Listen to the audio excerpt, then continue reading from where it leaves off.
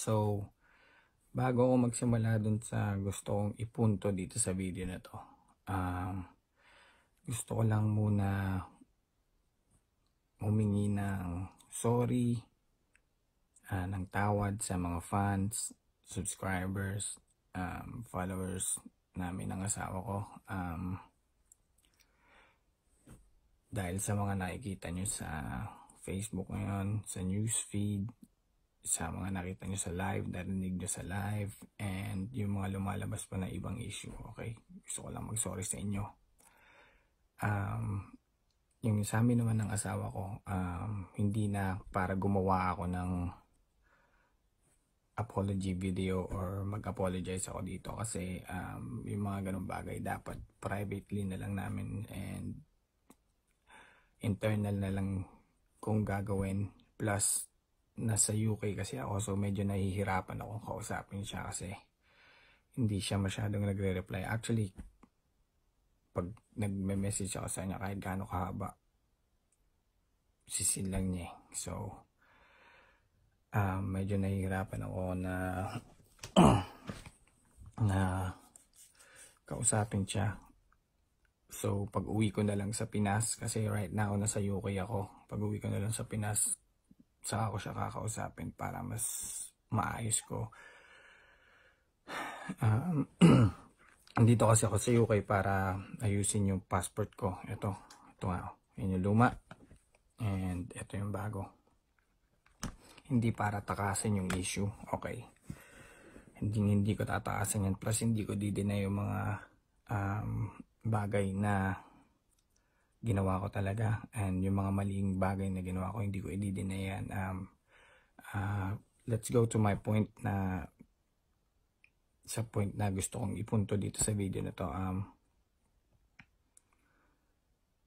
ang una ko lang gusto sabihin is marami kasi ako narinig dun sa live ni ate. Actually nanood ako. Uh, I was watching that. I was watching her live feed ako yon kung nakita niyo John Gutierrez is watching. Nanonood talaga ako. Pinanonood ko siya kasi gusto kong marinig kung ano yung sinasabi niya.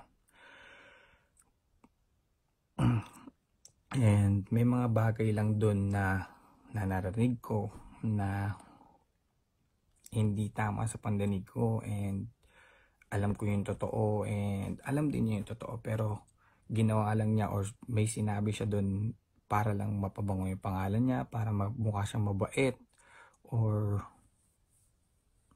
para magmukha siyang malupit, or para siya yung um, agrabyado. But um, may point, may isa siyang point doon na sinabi niya na nalasing daw siya to the point na na nag-pass out siya sa gilid malapit sa banyo ng Oblivion. I mean, first of all, sino ang matinong babae na magka-club uh, kasama yung mga never niya pang na-meet na tao. First time pa lang niya akong na-meet nun. Um, sino matinong babae na iinom to the point na magpapass out kasama yung mga taong first time pa lang niyang mamimit. 'Di ba? Um, hindi kita din judge pero sino? 'Di ba? Sino? And ayun nga, nag-pass out nga daw siya. Tapos, ang sinabi niya doon, ang napagkarinig ko is, hinawakan ko daw yung private part niya habang lasing siya. And I was like, kung lasing ka at hinawakan ko yung ano mo, ba't naaalala mo na hinawakan ko? 'Di ba dapat kung kung naaalala mo 'yan, kung kung nasa wisyo ka pa na naaalala mo yung ginawa ko, dapat dun pa lang, there and then, nagwala ka na. Nagwala ka na, pinadampot mo ako sa bouncer, dun pa lang, binitbit yun na ako sa barangay or binitbit nyo na ako sa pulis. Or, the next day, the next day,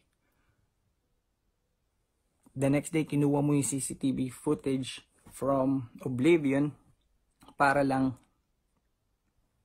Para may proof ka or para may evidence ka, dali mo sa police, yon Then, kulong na ako nun, di ba? Kulong na ako nun. Kung nangyari yon Dahil di nangyari yon hindi mo ginawa. Hindi mo ginawa. Tapos yung sinasabi nyo, yung nakita ko dun sa post ng isa nating kaibigan. Kaibigan daw. Um, sina- nilagay niya dun na kaya nasira yung damit mo dahil inaaway ka ni Tony. Inaaway ka niya. Inaaway ka niya dahil pinag pinagnasahan mo siya or you took advantage of her when when she was drunk. Come on man. Baka naman kaya nasira yung sa neck ng damit ko dahil gusto niya akong halikan. Hinahabol-habol niya ako, sigaw-sigaw pa siyang Badger, Badger, King Badger, nasan si Badger, nasan si Badger, sa labas ng Oblivion. ba? Para hinahabol-habol niya ako, hin, hinahabol-habol niya ako para, dahil gusto niya akong halikan. Pero ako, umiiwas-iwas ako. Nandun, nandun pa sila, ano eh, sino ba yun? Yung famous na naging mukhang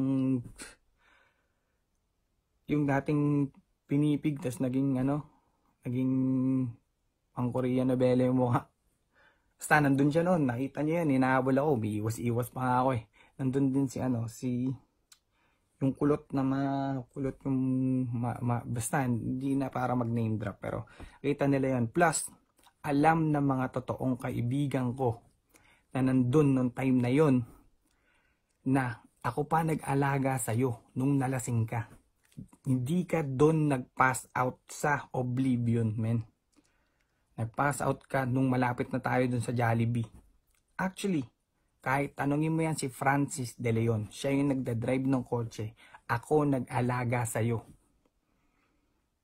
Actually, ayaw nga kita buhatin kasi ayaw akong makita ng mga tao na meron akong buhat-buhat na ibang babae. Pero, alam mo yun? Alam mo yun? Pero tinulungan pa rin kita kahit nagpapass out ka, nagwawala ka dyan sa sahig. Tinulungan kita. Ako nagdala sa'yo. Ako nagbuhat sa'yo papasok sa kotse ni Francis. Alam mo yan. Nandun din yung jazzes. Alam din nila yan. Nakita nila yan. kahit kahit hinihila-hila mo yung damit ko, nakita nila. Alam mo yan. And, um, ano pa ba yung gusto kong, ano pa ba yung mga narinig ko dun na hindi, may mga narinig kasi, ang dami kong narinig na hindi tama kasi na parang ako lang yung, ako lang na ako yung sinisisi sa mga nangyari and sa mga pagkakamali. Oo, oh, yes, nagkamali ako. Pina natin yun. Kamali ako. Ang dami kong kasalanan. Hindi, hindi ko nililinis yun. Pero, ah, dalawa tayo dito Dalawa tayo. Hindi ko kaya yun mag-isa. Ano? Ano yun? Na, na, nakipag-anuhan ako sa sarili ko? Na. Kaya nga naging issue kasi dalawa tayo dito. di ba? Di ba? Kung ako lang mag-isa yun, edi, ano, baliw ako. Di ba? Um, plus, yung sinasabi mong wala kang alam na meron akong girlfriend, let's be serious sinabi mo pa nga sa akin dati na uh, dati nung napapanood ko kayo, ni-imagine ko, paano kaya pag ako nagkaroon ng boyfriend na ganyang kakulit? Na ganyan, viner, ganyan, kilala ng tao. Ayan ang sinabi mo sa akin. Kaya wag mo sabihin, wag kang magmalinis, please lang, wag kang magmalinis. Ako, real talk. Real talk lahat ng sinasabi ko. Ayokong, ayokong ano ka, ayokong gayahin yung mga ginawa mo na para bumango yung pangalan is magsasabi ng kung ano-ano na. Ayokong gayahin yan. Kaya eto sinasabi ko sa inyo. And okay, actually, ito yung proof. May proof ako. Nung the next day, after kang nalaseng, after kitang tinulungan, after kitang nilagay doon sa kotse, after mo sinira yung mga dam yung damit ko dahil ayo umiiwas-iwas ako dahil gusto mo kong halikan. Okay. Ito yon May screenshot ako. Ito yung usapan doon. Ito sabi mo, tang ina, aalis pa naman ako ngayon. Sa group chat namin to ng Suicide Squad. Ah. Ang reply ko, alis ka lang, ha ha ha. Kaya yan, ha ha ha. Tapos ang reply niya, ha ha ha. Next na makita kita, lahat ng suot mo sisirain ko. Hmm. Doon pa lang, given na, di ba? Bakit hindi ka nagreklamo? Oh, sisirain ko. Ayan yan, oh. Suicide Squad. Oh, ayan ka, oh. Ayan ka, pink dildo nickname mo. Ako nagbigay sa inyan. Ako naman si Boy Famous, ayan. Yan siya. Next, na makita kita. Oh, di ba? Yung palang proof na hindi ka galit sa akin at hindi mo ko nilayon kagaya ng sinabi mo na nung nalasing ka, hinawakan ko yung private part mo, tapos hindi mo na ako pinansin dahil doon nagalit ka na sa akin or inaway mo ako. Kaya ikaw, Anthony, yung pinost mo, napaka-barbero nung part na yon. Alam mo yan. Alam mo yan, Anthony. Plus, dun tayo sa pinagmulan nito na pinagmulan nitong mga stuff na ng mga nagdab kaya naglabasan to mga to um yung nilabas ni Makagago anyways I just wanna say si Makagago since 2014 pa yan po 2014 pa niya akong binabash um dinis niya yung nanay ko dinis niya si Jelay dinis niya ako dinis niya ako dinis niya ako ang dami na ng video towards me but he never heard anything from me because that's his forte he disses people So, I don't mind that. But yung totoo, totoo rin yung sinabi niya na I spot my chewing gum aim. Yeah, I did. And he's right. In Europe, that's one of the most disrespectful thing you can do sa tao. You can, when you spit at them. Pero kasi sa sobrang inis ko dahil 2014, 20, since 2014, dinidis niya ako. Ah, uh, ayun, ayun na lang yung way ko. Hindi, hindi kami makalapit sa kanya kasi sobrang daming bouncers. As in, sobrang dami. Um, so, ayun na lang yung pinaka, yun na yung pinaka disrespectful thing that I could do to him. Spit my chewing gum at him. So, hindi ko dinede na yun. And, yun nga, dahil sa issue na sinabi niya na binigyan ko daw ng 20k si Tony. Uh, 3 weeks ago kasama si Mark or something. Basta yun, ayun yun. Um, hindi ko dinideny yun. Ang dinideny ko doon is yung 20,000 hindi ko hindi ko siya binigyan ng 20,000 plus yung sinasabi niya na um, plus yung sinasabi niya na pagpasok daw niya sa kotse nagwala-wala daw siya kay Mark hindi ka nagwala-wala kasi kung nagwala-wala ka bakit nakarating pa tayo sa McDonald at umorder pa tayo ng food 'di ba hindi ka nagwala ang una mong sabi ay putang ina ang taba mo Ayun ang sabi mo sa akin. Ayun ang sabi mo sa akin. Hindi ka nagalit, hindi ka nagwala. Kasi kung, kasi kung, ano, kung galit ka sa akin or kung nagwala ka, eh di dapat hindi na tayo, hindi mo na, hindi na tayo dumating sa point na nakapunta tayo sa McDonald para umorder ng food, di ba? Plus, kung ayaw mo talaga ng mga kung ayaw mo talaga sumama ng mga point na yon, bakit hindi mo na lang kinuha yung pera yung pera na hinihiram mo kay Mark, hindi mo na lang kinuha yon at umalis ka, lumabas ka ng kotse, di ba? Napaka-easy, pero no, sumama ka pa sa amin, di ba? Sumama ka pa na ipagkwentuhan ka pa sa amin. Ayun, yes, um, inaamin ko, mali yung ginawa ko at sumama pa ako sa sa lakad na yon. Yes, mali yon. Um, I'm not gonna deny it. Mali ako doon, mali mali yung ginawa ko dahil alam ko naman napakalaki ng issue na nagawa ko noong 2016 tapos sumama pa ako nung mga panahon na yon um, pero gusto ko lang kasi malaman you guys na maraming bagay na sinabi siya doon na hindi totoo um, ngayon naman sasabihin ko sa inyo na parang hindi hindi na talaga ako yung nakausap ng asawa ko and right now, inaamin ko, nagkamali ako, hindi ako nagmamalinis at tatanggapin ko lahat ng galit ng tao.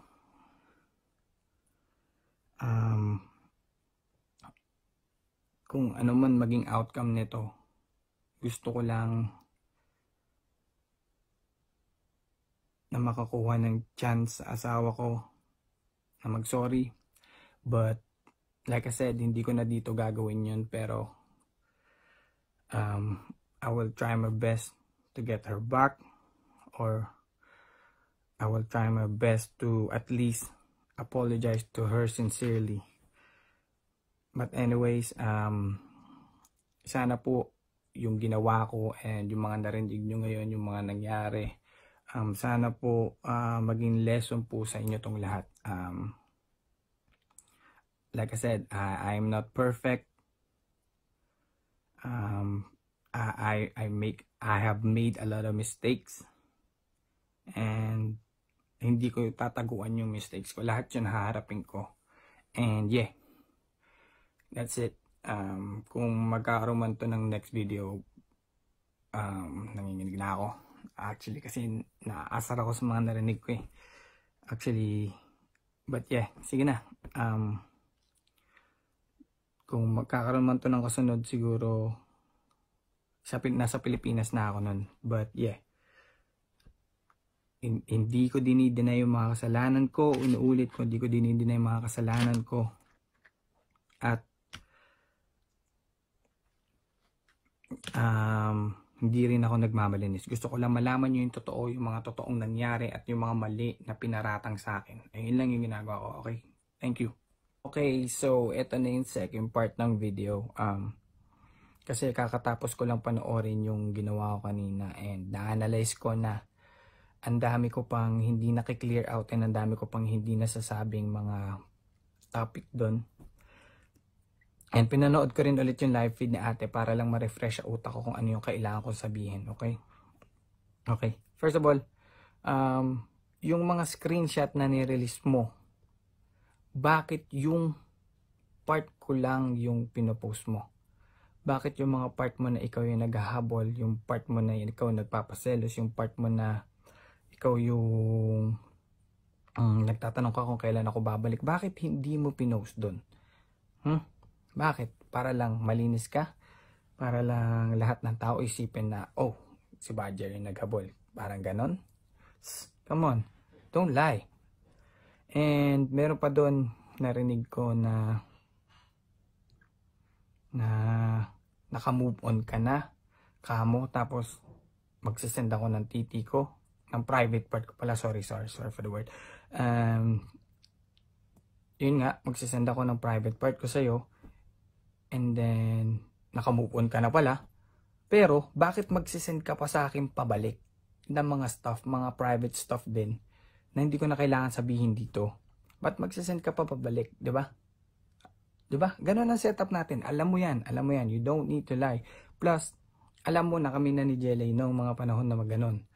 Ang dami mong sinesend sa akin. Ang, alam mo yan, alam mo yan. Ang dami mong sinesend sa akin ng mga mga stuff. I don't need to say it because eh, di na kailangan elaborate dito yung part na yon Pero alam mo na nagsisend ka rin sa akin. Don't say na ako lang yung nagsisend and stuff. Okay?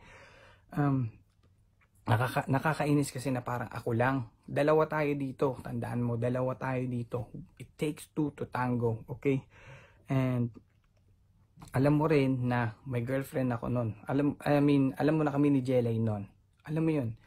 You know that you're number two. Hindi mo kailangan i-deny yun. Alam mo yan. Uh, nakakaasar lang kasi isipin na dinideny mo pa yung mga bagay na bagay-bagay na alam naman natin na alam mo. And um, may isa pa doon na sinabi ka na nakatira ako sa inyo. Yes, um, tumira ako sa inyo tumira ako sa inyo pero hindi for one month, okay? Mga siguro mga 12 days or 2 weeks at least, ayun. Dahil ayun na yung mga panahon na nagkakagulo na kami and wala na ako mapuntahan dahil nahuli ako na may video ako na nag aano ka ng ano mo at umuungol-ungol ka doon, 'di ba? Nakita naman natin doon sa live feed ng asawa ko na yung yung video. So you cannot deny that. Do not lie. And yun nga, ikaw nagyaya sa akin tumira sa inyo dahil wala naman wala naman ng mga parents ko dito. I only have my grandma. Um, and here and then um yun nga uh, tumira ako sa inyo ng 12 12 um 12 days but basta parang ganoon at least to 2 weeks at most na yun. Yun yung pinag, ano ko doon, yung in-stay ko doon. But, simula nung na huli tayo ni Jelay nung, nung after ng birthday bash ko, nagkumahog na ako nun, pabalik sa amin. Sinabi ko sa'yo, babalik na ako sa amin. Kumahog na ako nun. Simula nung binlock ako ni Jelay, simula nung pinakita niya sa akin yung video na sinundan niya tayo from Oblivion to your house, bumalik na ako nun. And ayoko lang kasing marinig na ako lang yung biniblame mo. When in when in fact na dalawa tayo doon. Dalawa tayo doon. Don't you don't need to clear clear yourself out sa mga tao na to kasi alam nila totoo. Alam nila na number 2 ka. Alam mo rin sa sarili mo na number 2 ka. Alam mo yan. And last but not the least, yung 2019 ulit, ibabalik ko. Ang sinabi ni Makagago. Um, he was right. Nagpunta kami sa Las Piñas. Pumasok siya sa kotse sa Las Piñas. But siguro mali yung source ni Makagago na na nakakita sa amin na ako yung nagbigay ng pera. Because hindi hindi ako nagbigay ng pera sa kanya. Yun yung mali ng source ni Makagago. But everything, everything na lumabas naman, um, hindi hindi ko dinideny and pagkakamali ko yon um, gusto ko lang naisipin nyo na uh, na hindi ako nagsisinungaling and lahat ng sinabi ko dito is real talk. Hindi ko hindi ko na kailangan pang i-deny lahat yon dahil um, right now I think I have lost everything. Wala na akong wala na akong dapat ikabahala kung ano man mawala sa akin ngayon dahil nawala na yung nawala na nga sa akin yung asawa ko at the moment hindi hindi pa kami nag-uusap ng maayos and hindi ko rin alam kung paano ko siya kakausapin dahil nandito ako sa UK. Um, ayun na yun. Um, so this is it. I guess I just want to let you guys know that I have made a mistake. You know it.